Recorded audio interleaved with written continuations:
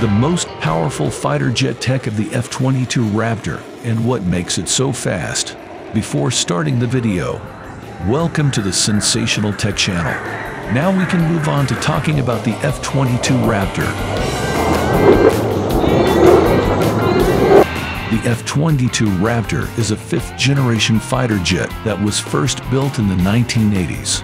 It is one of the most advanced fighter jets in the world.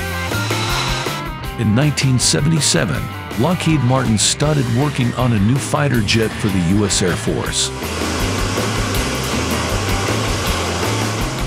They wanted to create an aircraft that would be invisible to radar and have high maneuverability.